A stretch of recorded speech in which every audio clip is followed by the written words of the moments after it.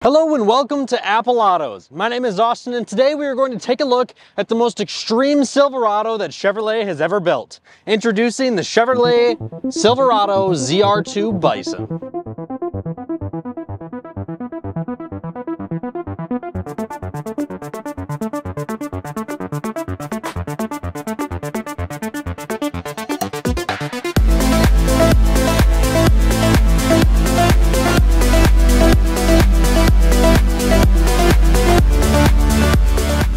You guys may have heard of the ZR2 before and the ZR2 nameplate. It was actually used on the previous generation of Silverado and it's been used on the Colorado for a little bit of time now. The ZR2 is the most extreme off-road version of the Chevrolet vehicles that they make. However, the Bison steps it up yet another notch with an 8,440 dollar option on top of the standard ZR2 package that is a lot of money. So today we're gonna go over a full tour of the Silverado ZR2 Bison. We're gonna check out the exterior, the inside, and take it for a drive, and we're gonna see what I think. Now before we get too far into the video, I need to say that this ZR2 Bison is currently available for sale here at our Apple Chevrolet Northfield store here in Northfield, Minnesota.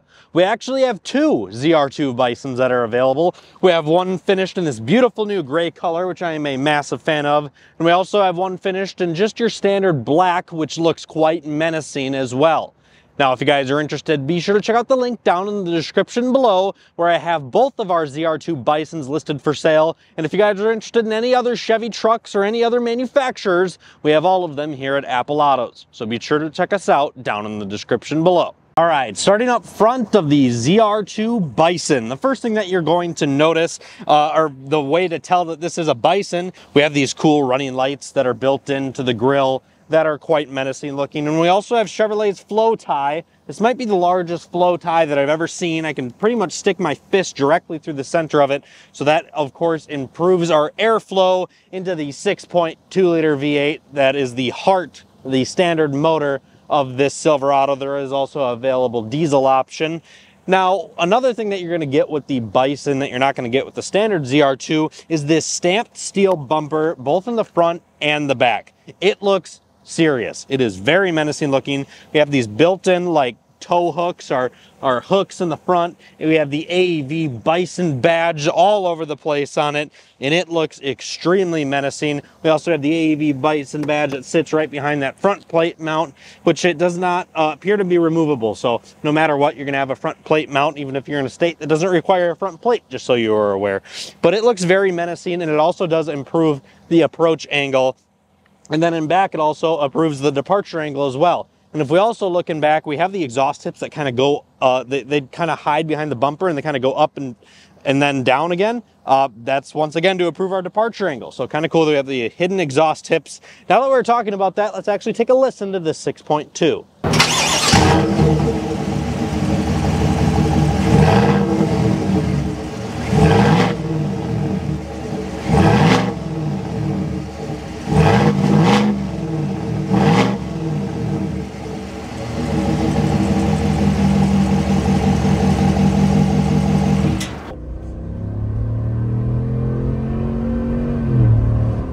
This 6.2 V8 has 420 horsepower, 460 pound-feet of torque, and it's your standard Chevy small block V8, meaning that parts are going to be very easy to find for it. If you decide to own it out of warranty, considering Chevy's had this motor out for I don't even know how long now with just minimal updates here and there, they're super, super easy to work on, super easy to find parts for, super reliable, and have tons of torque and power all throughout and they sound amazing with an exhaust system on it. So I'm very glad that Chevy is continuing their small block V8 production throughout the remainder of the Silverado's history or as long as they possibly can is what they've come out and said. So it is great to see that we still have a V8 powering the heart of this big old bison.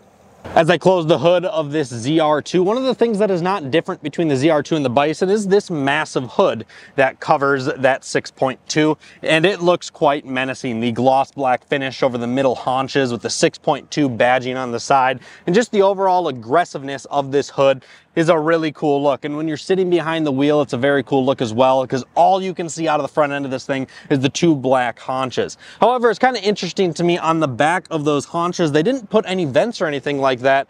And uh, they even have this little vent right in the center of these haunches. Non-functional. We don't have any heat extraction uh, on the top of this hood. Kind of curious why they did that. Not really sure why they didn't um, because I think that we could quite easily get some additional heat out of the underhood here uh, by just making some functional vents on that really large hood piece. Let's continue our way down to the side of the ZR2 Bison. Down the side of the ZR2 Bison, we also get these aggressive rock rails that look beefy and mean and also have some functionality to them as well when it comes to hitting stuff on the underside, which is pretty cool. And speaking of the underside, with the Bison, we also get some additional covers, including a fuel tank cover, we get a differential cover, and then of course we have a front skid plate. So all types of different skid plates and underbody protection that are featured here on the Bison. We also have these AEV Bison specific 18 inch wheels wrapped in some Goodyear Wrangler mud terrain tires, which look very aggressive. Absolutely love this wheel design. See no reason to ever go the aftermarket route with wheels because those things look absolutely phenomenal. Other than that, on the side of the ZR2 Bison, there isn't a whole lot going on uh, beyond that on the st standard Silverado. I do really like the uh, gloss black painted door handles. They really stick out, which also matches the mirror cap and the wheels and the other additional black accents. It looks really, really good. I'm a big fan of that. And we also have our Bison specific tailgate badging right on the corner. Looks pretty good. As we move around back of the Bison, you can now see that super aggressive steel stamped bumper with the integrated uh, parking sensors and it just looks mean as can be. And I love these, once again, these kind of tow hooks that are into the back here look super, super aggressive and all the black accents, the black Chevy badge is super, super cool looking, very menacing looking truck. I also like the sticker that they put in the multifunctional tailgate, which is also standard. If We actually press this top button here, it folds this top portion down, and then we press the bottom button, it will open up the tailgate. Ah, I gotta have this closed. Open up the tailgate, then we press this button, open that up, and then we press this button, and we have ourselves a step and we can also throw up our handle here and we have ourselves a very easy way to get into the tailgate of this big old bison which is really really cool and there's a lot of functionality with this design of tailgate on the back of here and it's also super cool for going to a drive-in or movie watching with this really comfortable seat that you have on the back of this thing so I do really like that. I think it's probably the best designed tailgate step in the game. It's very, very slick. I'm a big fan of it, and it's super easy to use. We also have bed liner standard in the back of this ZR2 with the ZR2 engraved or implanted in the front end of the bed, which does look quite cool. And we of course have the rear sliding window with a rear view mirror camera above that, as well as our backup camera. Just kidding. We actually have our backup camera on the back of the tailgate. We have a specific bed camera. Now, just wait till we get into the interior so you can see just how many cameras this Bison has. And something that's really cool about the Bison um, that I haven't experienced on many other vehicles is you can use these cameras at any speed. They're available to use all of the exterior cameras on this thing, which is kind of unique. Another thing that is cool why we are back here on the back of the Bison is the taillights. We do have LED taillights for running lights. I also forgot to mention we do have some really cool headlights up front on the Bison as well. They are very similar to what you get on the standard Silverado, but just the overall updated headlight housings with these cool turn signals and headlights, they're, they got a really cool look to them. I'm a big fan of the way that the running lights look and the LED turn signals look and the way that it integrates into the front end. It's a really good looking set of lights. Let's hop in the interior and see what it's all about. Let's hop onto the inside of the Silverado ZR2 Bison. I'm gonna start off with the back seats here. Now, just a heads up, if you have uh, a shorter wife, a shorter spouse, a shorter mother, grandmother that's constantly getting in and out of your vehicle, the Bison isn't easy to get in and out of. It's big, it doesn't have a running board uh, because it has these big side step or the big rock rails. Um, it's not easy to get in and out of. It is a heck of a step to get up in there. So just be aware of that uh, if that's something that you're interested in or something that you are consistently doing on a day-to-day -day basis with your Bison. Now hopping in here, like I said, it's a heck of a step to get in, but once you are in very comfortable spot to be on the two outer seats, we do have heated seats here, USB Type-C and a USB to keep our passengers charged up in the back seat. Um, and many other ZR2 models, including this one, we have this yellow stitching throughout the entire interior, which does include its way throughout the back. Seats back here are a little bit firm, but very comfortable. Tons of legroom. Uh, being 5 foot 11, I have at least six to eight inches of headroom above my head, like plenty. Never gonna have an issue hitting my head back here. Uh, if I fold down the center here, we got ourselves two cup holders, a little bit of storage. Uh, but overall, pretty basic back here. Not a whole lot going on. Not very exciting. We do have this fun material on the doors, which does carry its way to up front as well. We also have this cool like gloss chrome or black chrome finish around our vents and around our speaker grills back here, which is kind of cool looking. We also have the, some of that on our door panels. I think that pretty much wraps up the back seat. You guys don't spend a lot of time back here anyway. Let's move up front. But right before we do, I should also mention all weather floor mats are included. I did also want to mention one more thing before we go up front, and that is rear storage. We do, of course, just have the whole floor here, and then we can simply just pull up on the seat. We can do it individually on the other passenger seat as well. But then we have some under seat storage here, plenty of room to put stuff, or even uh, some small subwoofers if you guys end up wanting to do those in addition. Uh, but yeah, tons of storage, and it's super easy to put up and down. You just pull to go up and pull a little bit harder to go down. We also have some in-seat hidden storage. So we just pull open the back cushion of the seat, which is super easy to do, as you can see. And we actually have a pretty decent amount of storage back here. Personally, if this were my vehicle, I'd throw some ratchet straps back here and stuff I don't use super often, but is necessary to have. Moving our way up front into the ZR2. Now, the, the Silverado did get its updated interior a few years ago.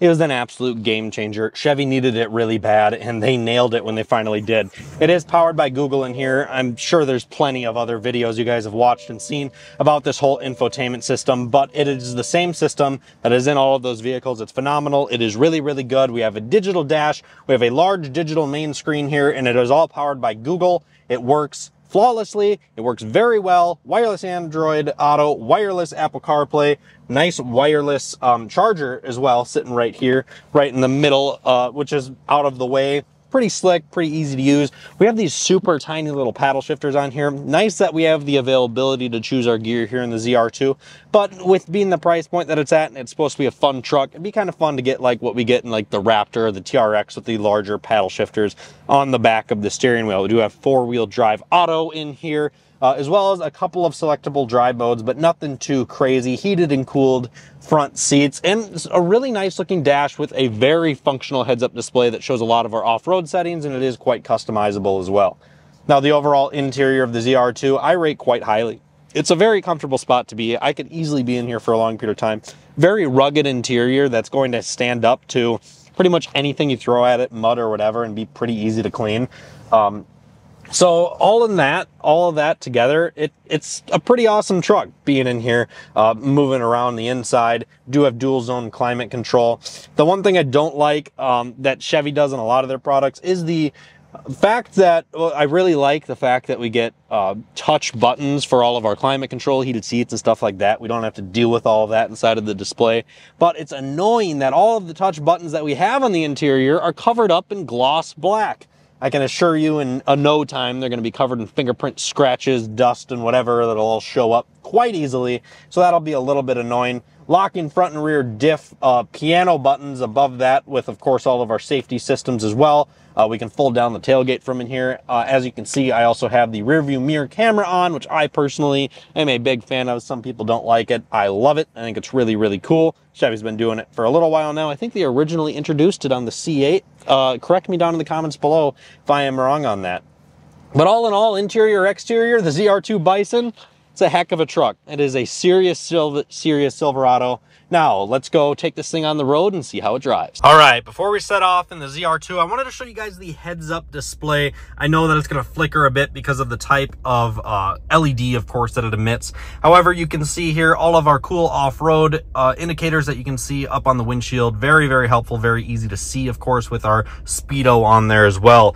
Also here on the interior, I wanted to show off those piano buttons that we get. Just wait for it to focus one second here. And as you can see, our locking diffs and all of our piano dials right up top top which is kind of slick on the interior of this. And then for our shifter in here, by simply just tapping the brake, we tap here and pull back to put it into drive, tap here, push forward for reverse, tap, just kind of pull it in the middle a little bit for neutral, and then press for park. So we don't have our standard uh, pull down shifter up here, our turn dial, but we have this little funny knob thing that has a little leather wrap on it. So kind of slick, kind of nice. I like it. Another thing I wanted to show off in the ZR2 is its cameras. The amount of adjustability, customizations that you have for visibly seen and your cameras here in the Silverado are ridiculous. Anything you possibly want to see other than a legit underbody camera this thing has, and you can use them at any speed, which really surprises me that they allow that. Let's go ahead and put it in drive and set off in the ZR2. ZR2 is quite a big truck to be behind the wheel of, and the only thing that you can see out of the hood is the two large haunches. However, it is quite easy to drive with the large amount of cameras that it has. It makes it pretty easy to park, and of course, blind spot monitoring and all of those fancy things make it a very livable and easy truck to drive. For day-to-day -day driving, you can expect to average around 15 miles per gallon with the ZR2. The ZR2 6.2 liter V8 is paired to a 10-speed automatic transmission. We're gonna go ahead and floor it here in just a second. That way you guys can see its downshifts and the overall torque and acceleration take over and the power that the ZR2 has. Personally, I really like driving it around. I think it's a lot of fun. I think it gets a lot of attention because it looks very aggressive, very beefy looking truck. It also has tons of torque and tons of get up and go, which make it an enjoyable truck just for overall power. All right, let's see what the ZR2 has for get up and go.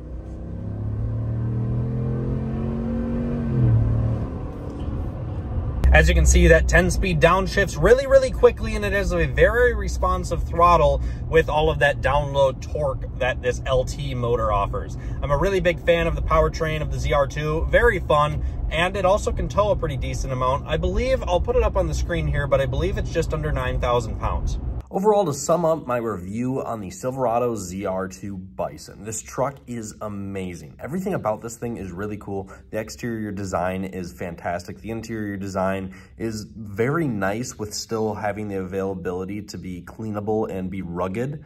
Um, and all in all, this is a really cool truck. I'm really excited to see people take this overlanding on all the overland projects. I think this is a great, great vehicle for that. And uh, I think this is, with the powertrain that's in here, these are going to last a really long time. Super reliable, long-term truck. I do highly recommend the ZR2 Bison. Now, you guys are going to have to let me know down in the comments below what you guys think of the ZR2 Bison. I'm very curious what you guys have to say. Is this you worth the price range of a Ford Raptor or Ram TRX without the engine performance of those vehicles? You guys are going to have to let me know down in the comments below. Thank you guys so much for tuning in here to Apple Autos. Don't forget to like and subscribe. We have lots of videos coming soon, and we look forward to seeing you soon.